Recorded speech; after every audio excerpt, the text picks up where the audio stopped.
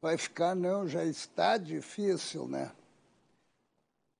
O aumento do diesel chegou no Planalto como uma espécie de retaliação às manifestações do presidente Bolsonaro, que dias, dias atrás criticou o lucro estratosférico da Petrobras, classificando de estupro, inclusive expôs o salário do, do presidente da estatal e também dos diretores. O presidente ganha mais de 200, os diretores mais de 100.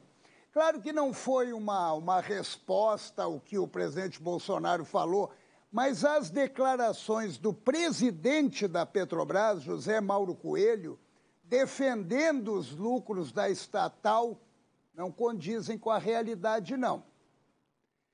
Para vocês terem uma, uma ideia, a Petrobras, a nossa Petrobras, lidera o lucro entre petroleiras do mundo. Nos últimos meses, a Petrobras lucrou 9 bilhões e 400 milhões de dólares.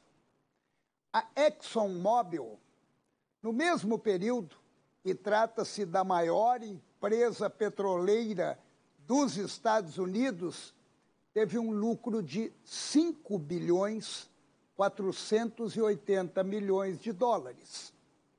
E a Petrochina, a maior vendedora de combustíveis do planeta, conseguiu lucrar também no mesmo período 6 bilhões 161 milhões.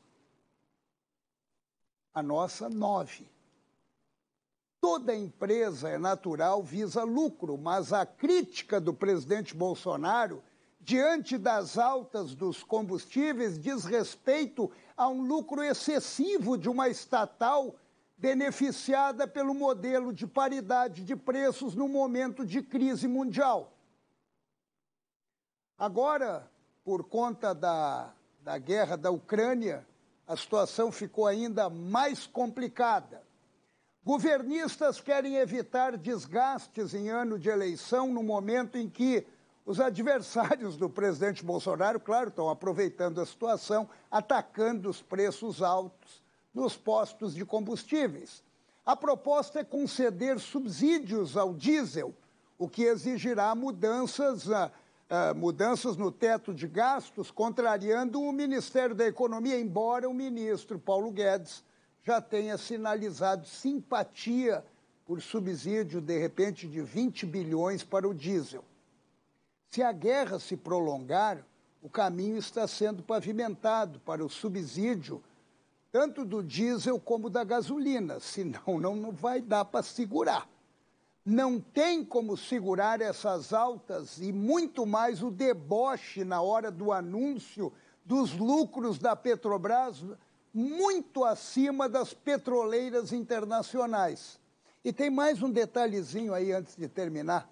O ICMS dos combustíveis, que é um imposto que cada estado coloca em cima da gasolina, do diesel, bate recorde nos bateu, bateu recorde nos quatro primeiros meses deste ano. Só para vocês terem uma ideia, ultrapassou os 34 bilhões de reais, sendo, sendo que alguns estados não alguns estados não enviaram os dados de abril, ou seja, é muito mais ainda, tem mais ainda lucro aí, lucro para acionistas da Petrobras, lucro para os cofres dos governos estaduais e todos nós pagando essa